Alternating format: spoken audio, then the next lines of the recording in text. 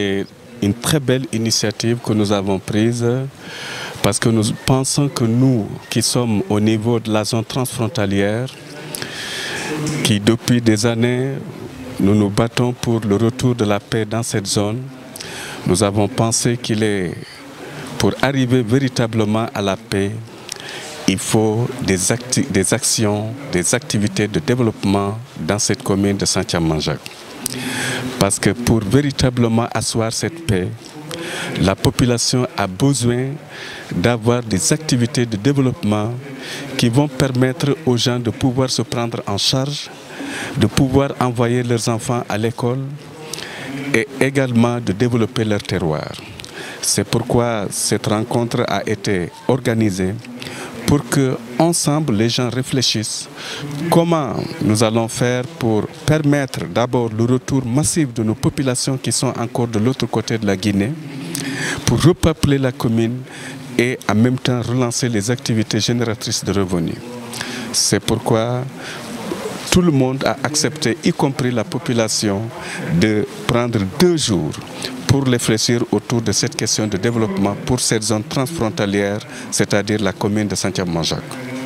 C'est pourquoi cette réflexion, parce que nous avons fait appel à des partenaires comme le CRE et le CNAMS, qui est là avec nous, qui est chargé de, de cette question de déménage dans la région de Ziguinchor et de la Casamance de manière générale. Alors tout à l'heure, ils vont faire leur communication parce que nous avons pensé que certains villages comme le village de Saint-Yamanja, qui est le chef-lieu même de la commune, il n'y a aucune habitation dans ce, dans ce village-là. Alors, les populations aujourd'hui manifestent leur volonté de retourner chez eux, mais le problème qui se pose au moment où nous parlons, toute la zone-là n'est pas encore déminée. Donc, c'est une zone qui est suspecte, qui est polluée, et nous avons besoin de l'appui du CNAMS et de l'État pour aller vers le déminage total afin de pouvoir réinstaller la population. Parce que cette population, ce sont des agriculteurs qui ont besoin de se déplacer, d'aller un peu loin de leur village pour travailler dans les champs. Donc si les champs aujourd'hui ils sont suspects, alors euh, installer les populations dans ces zones, ils n'auront pas des champs pour le travail, alors ça, ça va être un problème. C'est pourquoi nous avons invité le CNAMS qui est là avec nous, qui va faire tout à l'heure une communication par rapport à cette question. Et nous pensons que la communication qui va être faite va davantage encourager, nous encourager, donner de l'espoir pour pousser et amener la population à rentrer au bercail, à aller travailler chez eux, à repeupler leur village. Oui, mais le problème majeur, moi je pense que c'est la question de l'enclavement. Parce que euh, nous sommes une commune totalement enclavée. Aujourd'hui, pour accéder à certains villages, il faut passer par des pirogues. Alors, euh, c'est un problème majeur parce que la non-circulation des personnes et des biens bloque toute activité de développement. Nous lançons un appel également en direction de l'État pour que certains projets qui sont annoncés, disons des, grands projets qui sont annoncés dans certains programmes puissent être accélérés, surtout dans le cadre de la réalisation des pistes de production.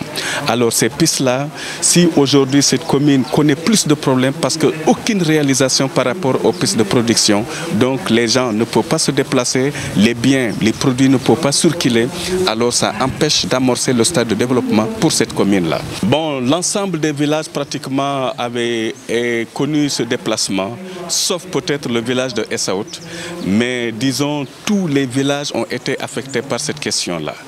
Alors aujourd'hui, nous avons certains villages qui sont, qui sont en train de revenir, pas totalement. Et il y a par exemple le village de Efok, une bonne partie de la population est déjà sur place, tout comme le village de Youtou.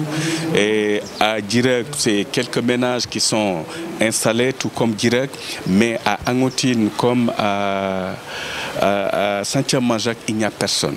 Et c'est pourquoi les gens travaillent, se battent pour amener ces populations à se réinstaller chez eux parce qu'ils sont en train de souffrir ailleurs et ils ne participent pas au développement de leur commune.